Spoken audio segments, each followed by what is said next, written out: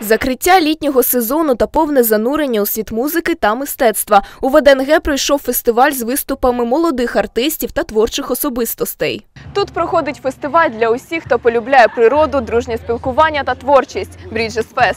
Цей фестиваль проводять вперше. Основна родзинка вечора продемонструвати нове звучання української музики. Молоді артисти використовували цю платформу для розвитку та збільшення своєї аудиторії.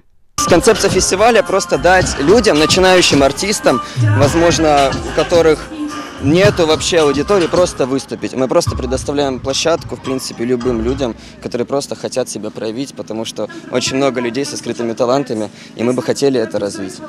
Руйнувати, псувати, розмальовувати. Такий творчий перформанс влаштували на фестивалі. Участь могли взяти усі охочі. У нас сейчас очень сложное время для всех. Карантин, работы, учебы.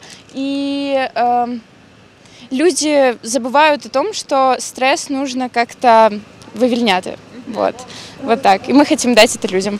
Вивільняли стрес також драйвовою музикою і танцями. А студенти університетів творчих спеціальностей підготували для глядачів сценки з монологами. Послухати молодь та просто насолодитися відпочинком прийшли люди різного віку. Я хочу а, почути, що зараз е, молодь співає, тому що вже трошки виросла з цього віку. Ну дуже мені цікаво. Хотілося почути гурти нові, тому в Тіктокі знайшла дуже класно. В принципі, ми вперше на такому івенті, і ми прийшли послухати е, Z Feels і е, Лілу 45, і просто побачити якісь нові обличчя. Наступний такий фестиваль планують провести наступного року. А більше про перший Bridges Fest вже незабаром у новій програмі Фестивальний вайб на телеканалі Погляд. Дар'я Сафронова, Олексій Москаленко, Олександр Кравчук. Інформаційна агенція Погляд.